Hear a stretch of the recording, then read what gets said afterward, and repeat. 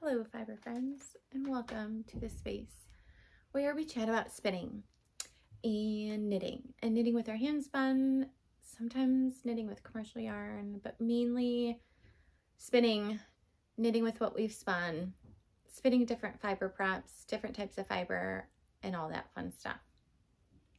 My name's Kristan. You can find me on Instagram as Stitched Vintage, same as YouTube and there I just kind of share more like in the moment, what I'm working on, what I'm doing, what I'm thinking, all of that. So, um, welcome if it's your first time viewing. This is a bonus episode, bonus vlog. So I tend to record. I've missed a lot this year, but once a month, just a recap, what I'm spinning, thoughts on what I'm spinning, what I'm knitting, all of that. And um, we have to talk about Tour de Fleece and my thoughts and what I've spun and all that. So I figured we would just have a one video where we just talk about Tour de Fleece.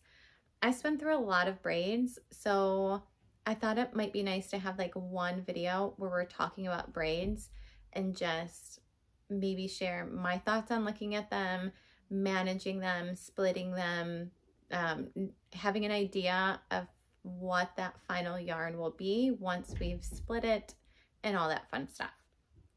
So without further ado, let's go into Tour de Fleece.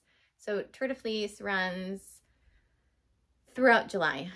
It depends. Some people just do it while Tour de France is happening. So the 1st through the 23rd. Some people do it the entire month. So they include Tour de Femme too. Um, it's up to you. There's no hard, fast rules unless you're on a team that has like hard and like fast rules that you have to stick to.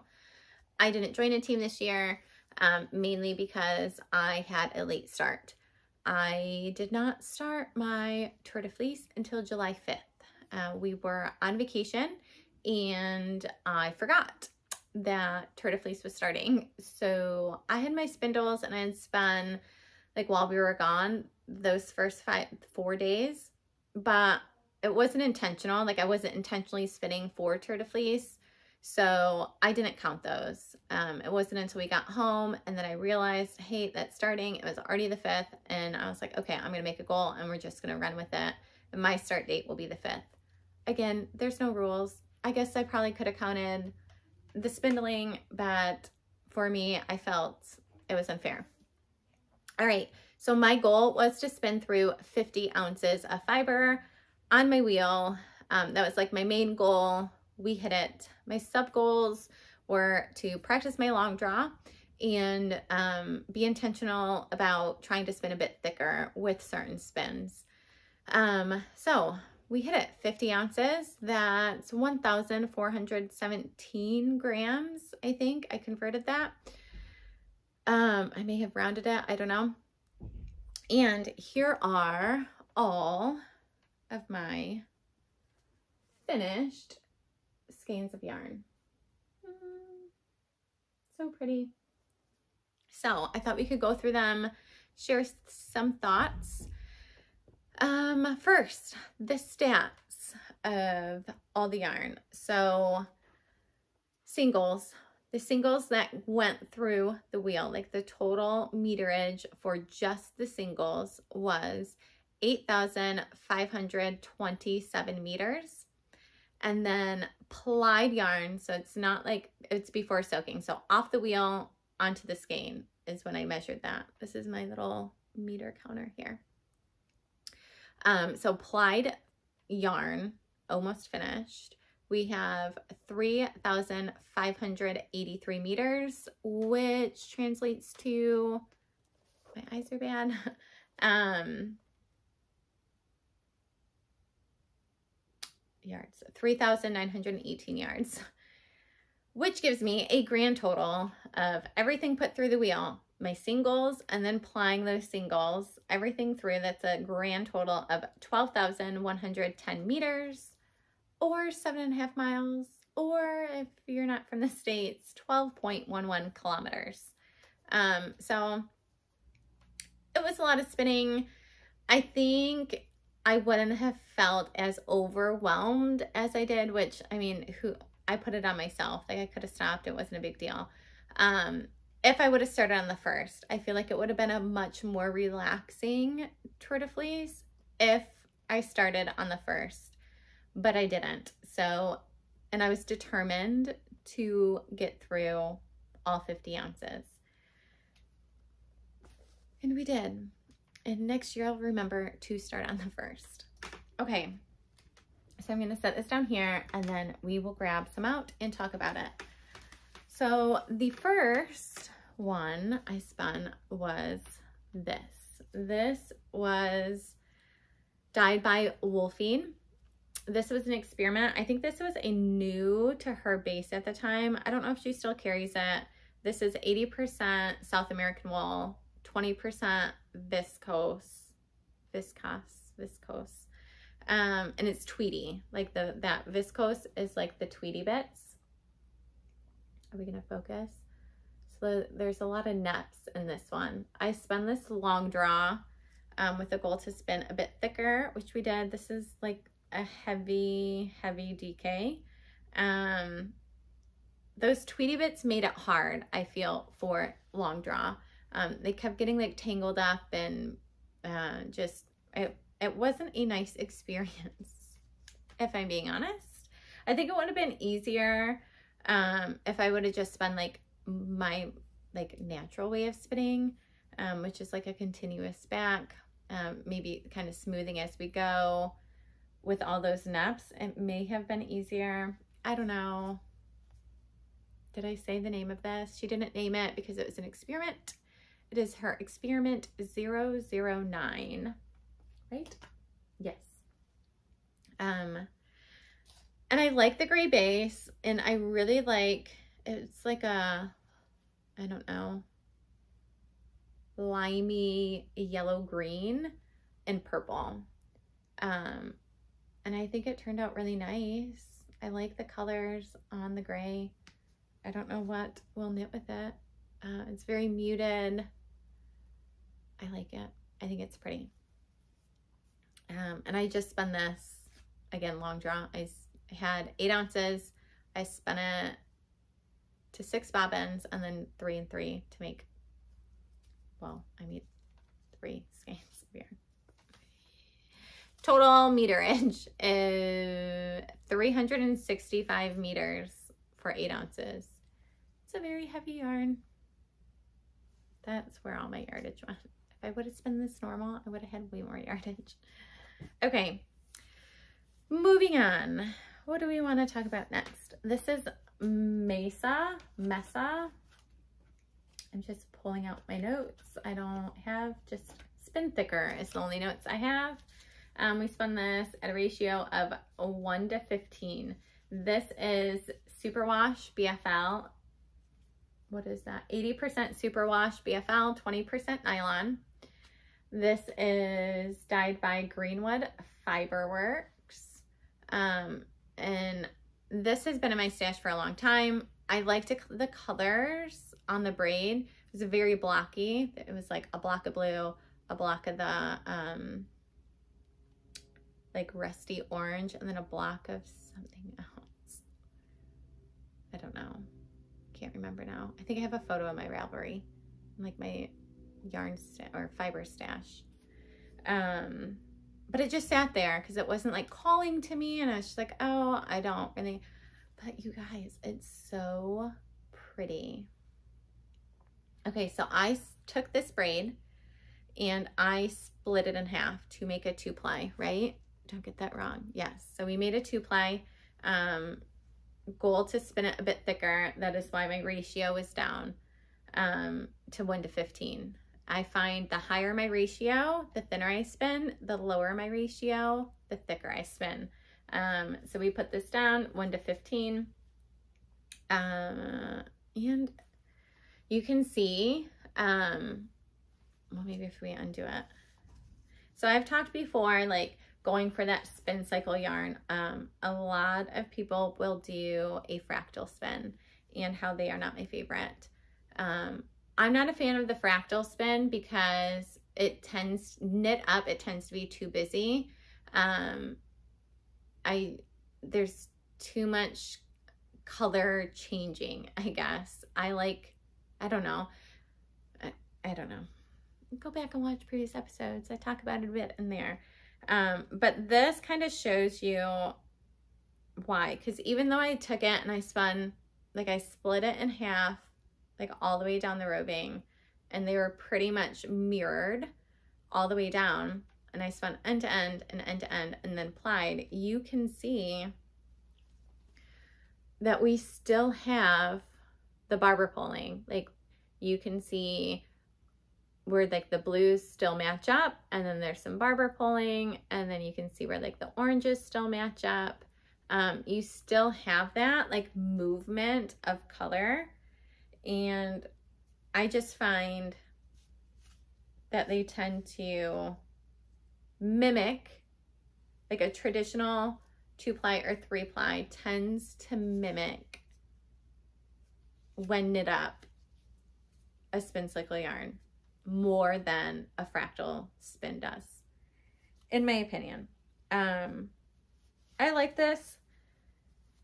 Bfl is not my favorite to spin um it's not as grabby i like a real grabby um fiber to to spin it's just i don't know i prefer it so with the fact that this is superwash and it's BFL and it's got nylon, it is very smooth to spin, um, but it spun up nice. I like it. And the total meterage for this was 204 meters for four ounces. So pretty heavy. We spun thick. Okay, moving on. Let's talk about this. This is Banshee Fiber Arts. She does not name her colorways. This is her colorway number 119. Um, and it was mainly white. So there's a lot of white and then splotches of the pinks and the blues. Uh, I have so much pink fiber, even though I don't think I own a pink shirt of any kind. Uh, so we'll see what we knit with this. I have a mini skein here. So where are we at? This was a three ply, uh, traditional three ply. So I split the braid into three separate strips, spun each to a bobbin, plied it up, and then I had singles left over, and that is these, and we chain plied these. So you can see there was no, none of like the dark pink left over it all, this, it's all in here. All we had was kind of whites and lighter pinks and blues. And you can see like the difference. Um, so for the two ply, we got 245 meters and the three ply 52 meters. Um, so this will probably just go into my, I have a whole bin of like my chain plied leftover singles and I don't know what I'll do with them, but we'll add that to that. Okay, moving on. What are we to pull out next? Well, if we're talking about pink, we've got to talk about Blushuous, which is dyed by Beth Espin Um, I love her colorways. This one's so pretty. Got like purples and pinks and peach and it's just really nice. So where's the stats on this? So we've got, this is a two ply. So this is on her Spin Skinny base, which is a superwash merino. Um, and it's basically like pencil roving. It is not super, super wash. So like it, this, her Spin Skinny superwash will still felt. Um, like you can, and I have um, like spit spliced the yarns together. So it's still grabby. Uh, maybe it won't felt as easily as like a super fine merino wool, but it will still felt, which I feel like, I mean, there are super washes that will, but just out of all the super wash I've spun, this is my favorite because it is so grabby. It fluffs up nice. Like it's got a nice like hand, a lot of like, like spring and spring to it. I love it. Um, so I took the pencil roving like found the middle point and broke it in half. Like I didn't split it down the middle because it is so long. Like that would have been a nightmare. I just broke it in half at the midway point, spun to a bobbin, spun to a bobbin, plied them together. And this is what we got. Um, so two ply, chain plied. What's the meterage on this? So the, did I share that? I don't know if I did. The two ply is 187 meters and the three ply was 79 meters. So it happens. Sometimes you just have singles left over. And I tend to either chain ply them or if I'm doing a two ply and it's not a ton ton, I will just uh, do a bracelet ply and ply that two ply onto the yarn to finish that yarn. Does that make sense? Hopefully. Okay, next is one of my favorites that I spun. This is Duskwood. Look at that yarn. It's just so pretty. So Duskwood is dyed by Woolfiend again. Uh, where at? Where at? Where at? Okay. Yep. And this is a Falkland Merino. Now I have 30 pounds. I have a 30 pound bump of Falkland. Don't ask me why. And I use it to practice with, um, like sample and like practice certain things. That's like my main use. I got it to like dye and do all this stuff, but we're not there yet. I still have so much. I think I have like 28 pounds still or more, 29. not used that much of it. Um, but the beginning of this year or last year, I wanted to practice spinning over the fold. And when I want to practice something and I don't want to use precious fiber, I will pull from that bump.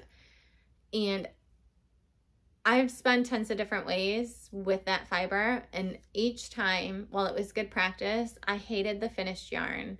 It was overspun. It was underspun. It was like not nice. It wasn't good yet. I, I could not figure out nice yarn to make from it, which was a little frustrating because I'm like, I have 30 pounds of this. So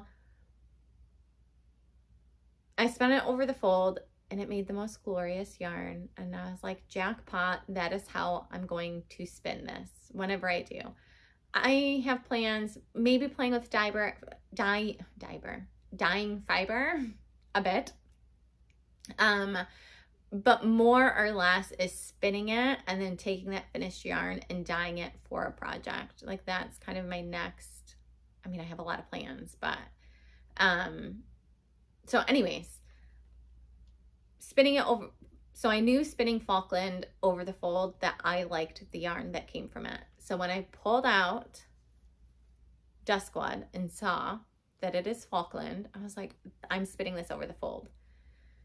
Now, I was a little nervous because the thing with dyed fiber is a lot of times one like one set staple length will have multiple colors, at least two, um, which can muddy things when you're spinning over the fold. Um, so I was worried that we were going to get a lot of muddying and that it would not turn out to be a nice yarn. But you guys, look at how pretty this yarn is. So obviously, yes, lots of barber poling happening, um, but also spots where things are matching up. It just turned out so pretty. So you can see the purples, the blues, the greens. I really love this yarn so much. It's like squishy. Um, so we spun this long draw over the fold. Um, we got in total 613 meters. And um, I love it. So if you're wondering if you can take a, you know, dyed braid and spin it over the fold, you can. And you will get really pretty, pretty yarn from it. I love this. I don't know what I'm going to do with it, but it's going to be something really pretty. uh, so yeah, over the fold.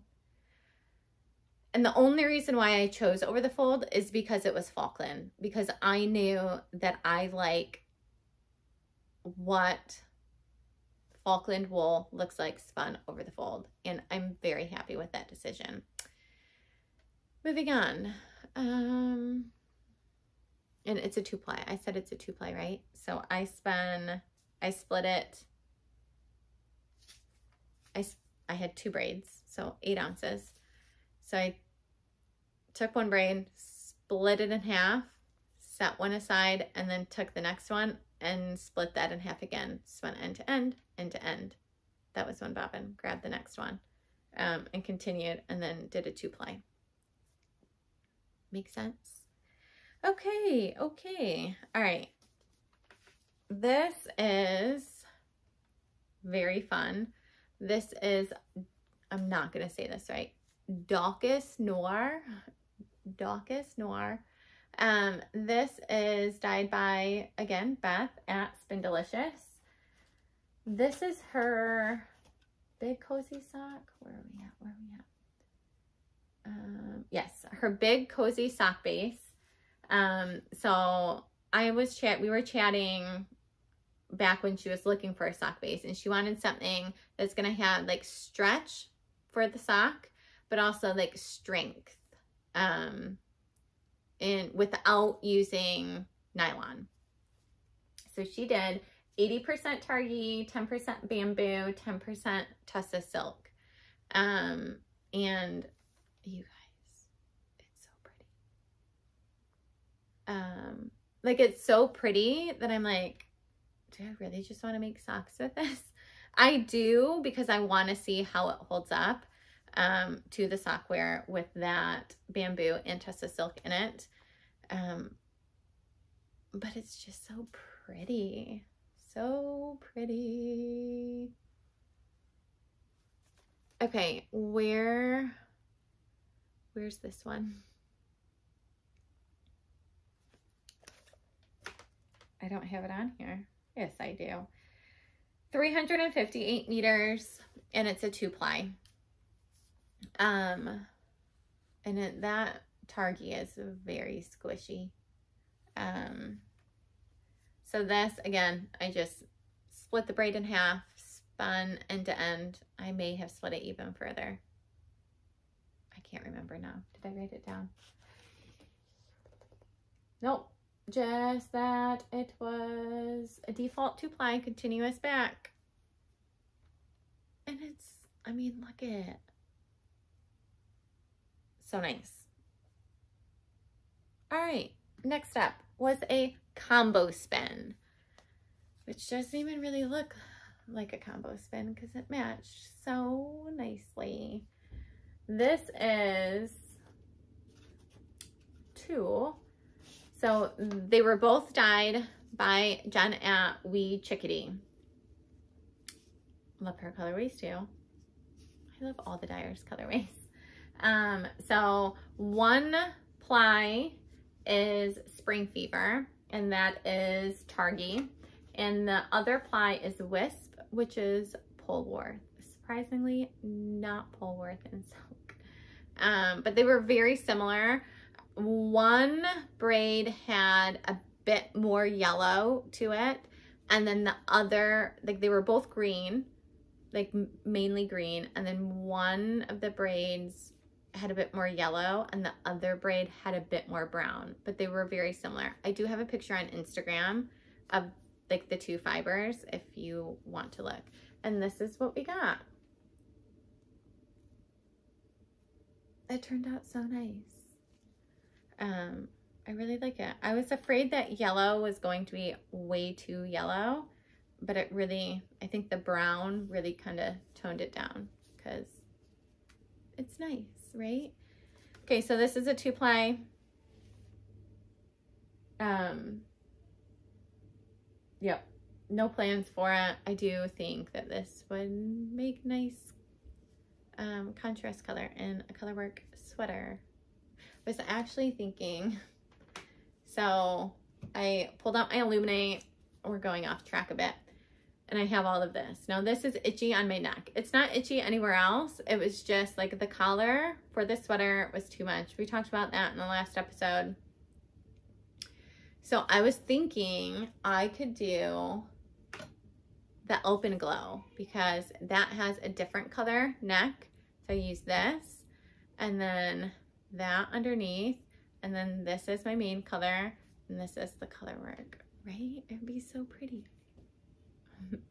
It's all falling. Anyways, we'll chat about that later as I figure it out. Um, so spun with no plans, but I do think that that would work out. I have more than enough yarn of this for that sweater. So we'll see. How much do we have? Uh, 587 meters of this combo spin. So if you're wondering, can I do a combo spin with like different wools? Absolutely. Targhee and Polwarth works. I've also done BFL as a ply and Cormo as one ply. Ply together, beautiful yarn. Probably one of my most favorite yarns I've ever spun and knit with. Okay, next up is another colorway by Beth at Spindelicious. This is her Ivy and Wine, and you guys, oh, come on, focus. Oh no, you gotta focus. Look at that. It is just so pretty. It's so pretty. Okay. Ivy and Wine, where are you at? So this is Cormo. And I split the braid in half horizontally.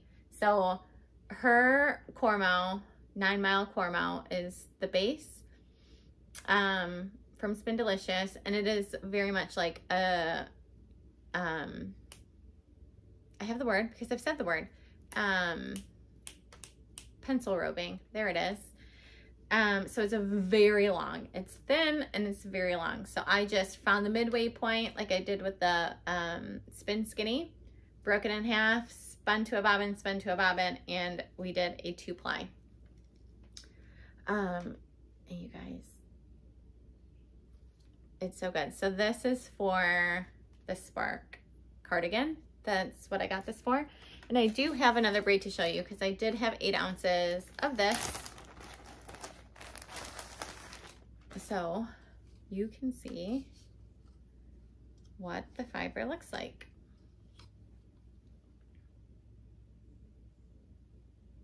So from this to this. It's so good. um, and then let's see, can I find an end? So you can see like what I mean by it's like super skinny. If you've not spun the Cormo,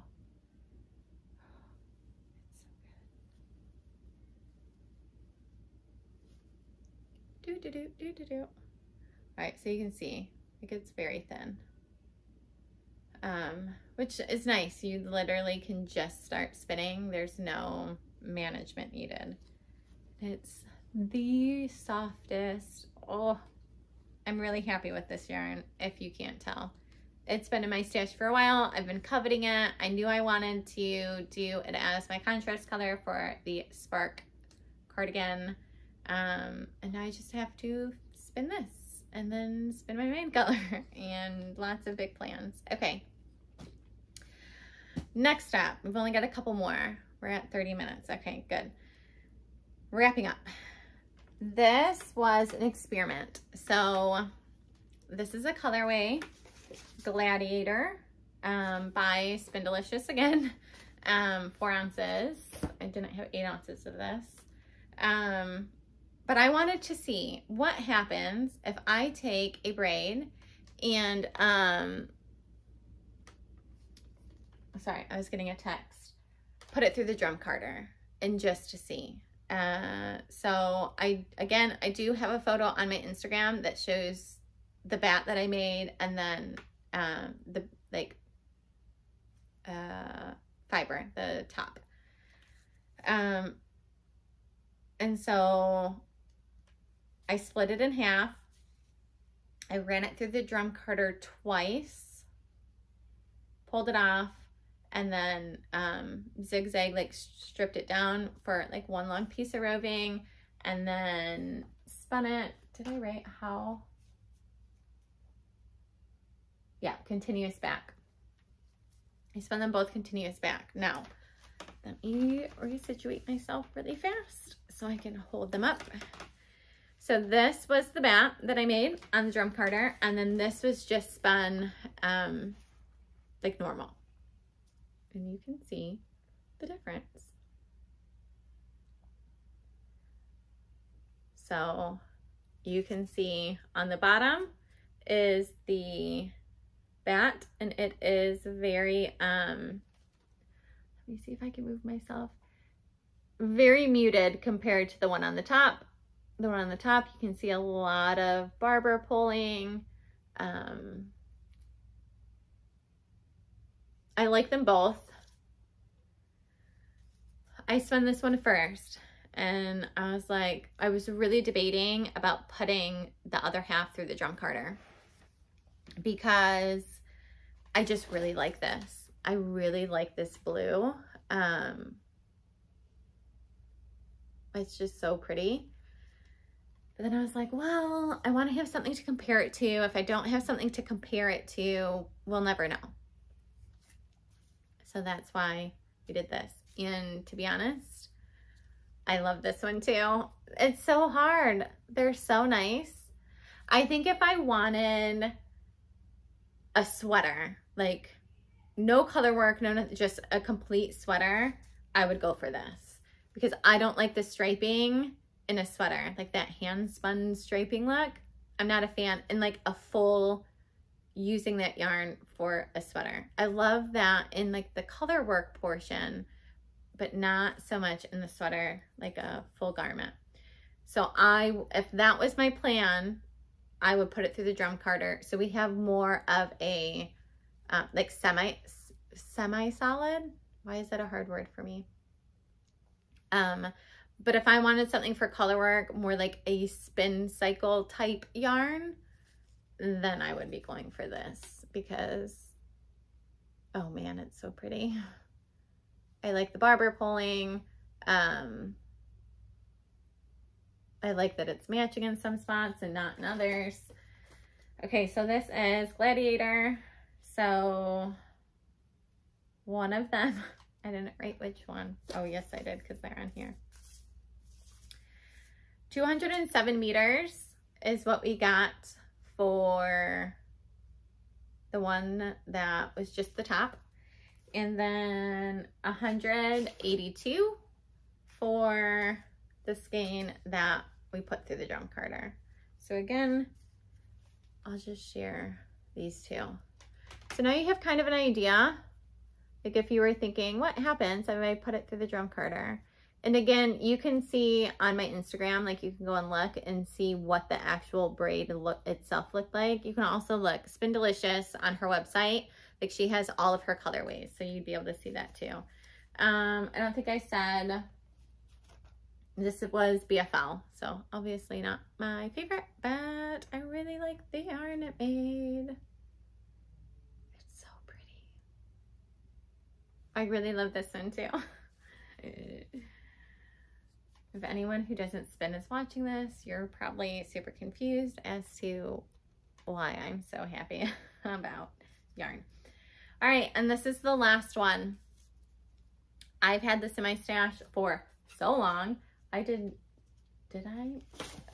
Oh, I don't think I made a card for this. I didn't.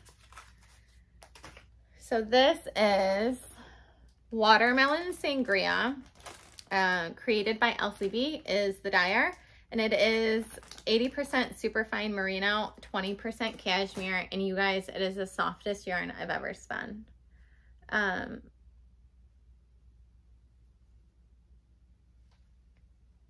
so I spun this.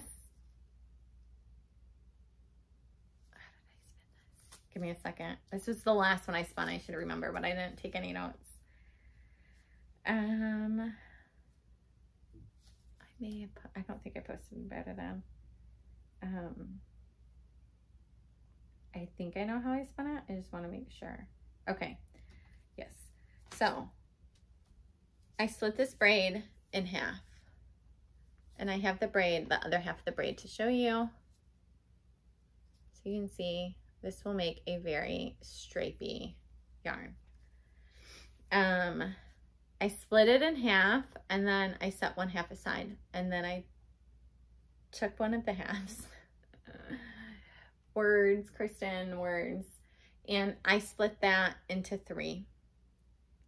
And then I spun each to a bobbin and then I made my three ply.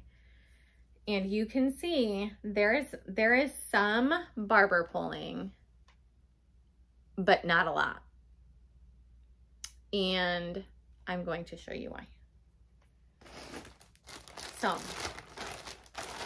excuse the crinkling. This is the other half. So you can see we have very long repeats. So I split this in horizontal. So the other half, this half that I spun, like it kept going, we got here and then it repeated. So, well, it actually went this way. So the green to the peachy pink, to the darker pink, to the purple, and then it went green to that peachy pink, to darker pink, to dark pink, to purple. Done. So I found the midway point, I broke it in half. I split this into three even-ish sections, spun them each, plied them up. This is a very, like this is all green. Um, and so you can see like there's not much chance of this pink getting into this green until we get down here. And that's where a tiny bit of barber poling is going to happen. Um, and then again, even down here, there's only a small area where these are going to mix. And then even applying them together, there's so much green and then so much pink and then the dark pink to the purple. It just doesn't allow. Now, if I wanted these color repeats to go more, so when I knit this up, it will go green to that light pink, all the way down to the dark, and then we will end on the purple. If I wanted it to be like moving faster, like more self-striping quicker, I would have broke it down further. Like I would have pulled it apart. And so instead of taking, so I took this braid, use words. Explaining is not my forte. So I broke, took this, broke it into three, and then spun those each to a bobbin. If I wanted that repeat to happen faster, then I would have broke it into three, set them aside, taken that first one, broke it down again and possibly again to have four, spun those four end to end onto a bobbin, and then done the same exact thing with the second piece. Broke it into two or four or three or however you do it, spun end to end, and so on. So then when I plied them together, we would not have such long areas of the green and long areas of the pink. Does that make sense? I hope that makes sense. Okay. Oh, and then this was just left over um, from that uh, like tweedy yarn. And then this is left over. This actually didn't go towards my meterage because I just, I don't know why I didn't count it. I kind of forgot about it. But this was the combo spin, like just left over. And usually when I have like little bits like this, I will put them in here. There's tons of little bits. Um, and I use them as ties. Like when I'm skating my yarn, that's where I get my little like yarn ties from. I just put them in there. Okay, um, that is Tour de Fleece this year. Hopefully you feel inspired to pull out some of your braids and get started. Um, this is my next on my wheel. Um, and I thought I would just share how I'm going to split it. So you can see lots of colors. This is Rambouillet, which is like one of my favorites because it's so sticky and grabby. Um, so I will probably do a three ply and you can see the color repeats compared to this. Like you can see like green comes all the way down to here. Oh, there's, I'm like, why is there blue? There is a bit of blue in here. The green comes all the way down to about here. And look, we've got so, in this one, you have several colors in that span. So I'm gonna open this. So when you get it and you unbraid it, like it kind of looks like, oh, like it's a piece of roving. It is, it is not. Like this is actually one big fat piece. Like if you unfold it, it gets pretty wide. So I will kind of pull that out and look and then figure out, okay, if I break it into thirds, how are we going to do that? So it's as even as possible. So I kind of start like, okay, that's about into thirds. I don't weigh anything. And then I just start like stripping it down. So I'll do the one. And then when I get to the end, I tie a little knot. So I know this is the end. And then I pick this back up from the other end. I go strip the rest of it. I tie a little knot so I know that's the end. And I keep those knots there until I'm spinning so I know which end. And I know I always, like the knot means it's the end. Does that make sense? And so I just do that and then I would pre-draft it out a bit, especially this because it's so sticky. And then we would just start see that like opened it up and then we would just spin to three bobbins and then we would ply together um that's what i'm gonna do all right if you have any questions about like managing color or braids or just questions in general feel free to leave them below um, and follow me on Instagram because when I do a spin and chat, I post like the day before. I'll put up a question box to get some of your questions. Um, and you can ask them either spot in the comments on Instagram, in the box when I post it, whatever you want. So happy spinning. I hope you're having a good start to August. I hope your July was amazing. We're gonna have an amazing August and I will chat with you guys next time.